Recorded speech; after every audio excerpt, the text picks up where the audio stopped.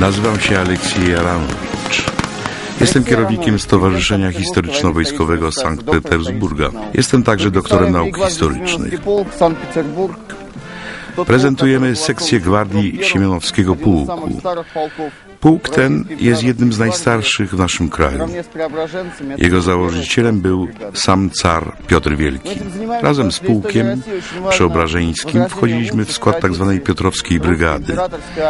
Zajmujemy się udziałem w rekonstrukcjach historycznych, ponieważ dla historii Rosji jest bardzo ważne, aby odrodziły się najlepsze tradycje jej oręża. Współczesny Siemianowski Pułk był jednym z głównych twórców odnowy tych tradycji. Zajmuje się rekonstrukcją od 1987 roku, już prawie 21 lat.